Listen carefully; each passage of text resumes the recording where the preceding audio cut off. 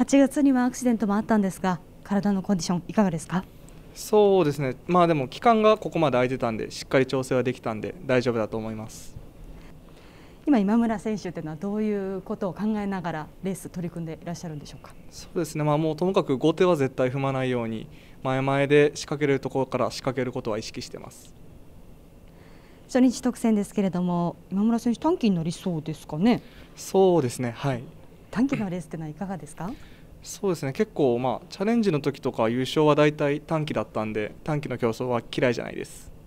さあまずは前回の大宮3日間ご自身で振り返っていかがでしたでしょうか？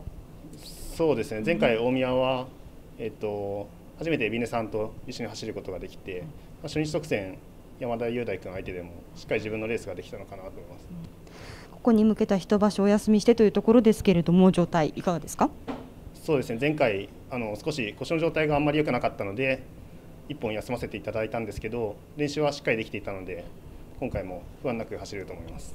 今シリーズ追加でという形なんですけれどもそのあたりコンディション面どうですか、まあ、追加、まあ、普通に練習してたんで問題はないです、はい、ご自身のこう近況レースの調子っていうところはいかがだったんでしょうか？そそうですね。2場所続けて決勝も乗れてるんで、えー、状態は上がってますさあそして初日特選競争ですが今井選手はどう戦いますか？東京の3番手で頑張ります。こう前を回る寺沼選手、浅見選手のこう印象というのはどうですか？いや2人とも自力型で強くて頼りになる後輩なんで自分3番手しっかりついて固めたいと思います。近況もコンスタントに決勝で進出していますけれどもご自身でいかがですか？ありがとうございます、まあ、調子はいいですねなんか調子のいいこのご自身の中での要因といいますか何かあります？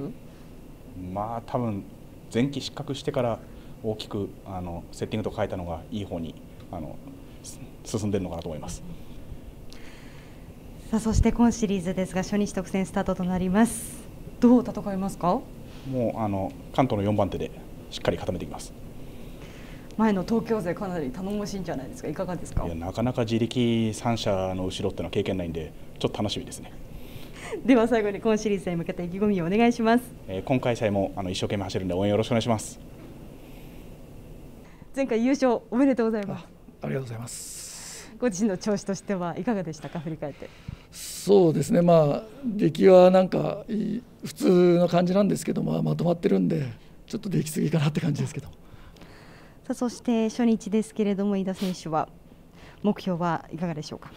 えーと、地元のあの新村君がいるみたいなんであの初連携なんですけどもあのつきたいと思います。では最後にファンの方に向けて今シリーズの意気込みをお願いいたします。はい。えーまあ、3日間、連に絡めるように頑張りたいと思います。今シリーズまでは中5日ですが、この辺りはどう過ごされました？結構疲れもあったんで、ちょっとマッサージとかで休み入れつつ、ウエイトとかでしっかり刺激は入れてきました初日特選競争ですけれども、浅見選手はどう戦うんでしょうか？と寺沼君の番手でしっかり頑張ります番手戦というのはどうですか、経験として。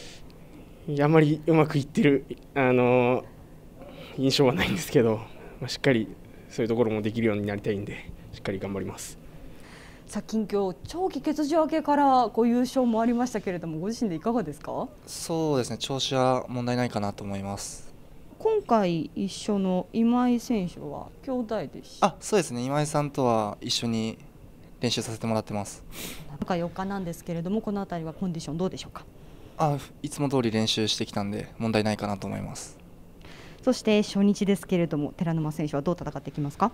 えっと関東の、えー、先頭で頑張りたいと思います。